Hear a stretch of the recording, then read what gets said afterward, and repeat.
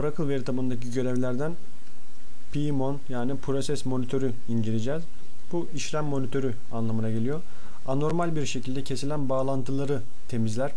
Yani bir çökme vesaire gibi e, herhangi bir daha önceden işlem yapılmadan haber verilmeden kesilen bağlantıları temizler. Process Monitör. Commit edilmemiş değişiklikleri eski haline getirir.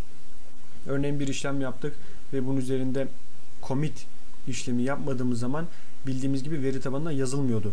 Orijinal bir veri olmuyordu yani. Ee, bunu geri almak için de rollback kullanıyorduk. Commit etmek için yani veri tabanına yazmak için de commit kullanıyorduk.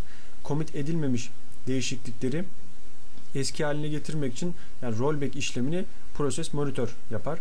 İşletimi kesilen görevin tuttuğu kilitleri kaldırır. Çakılan görev çakılan görev için ayrılan SGA kaynaklarını serbest bırakır. Kilitlenmeleri yani deadlock dediğimiz kilitlenmeleri otomatik olarak yakalar ve işlemleri geri döndürerek Transaction Rolling Bank bu şekilde e, geri döndürerek çözümler. PMON yani Process Monitor bu işe yarar.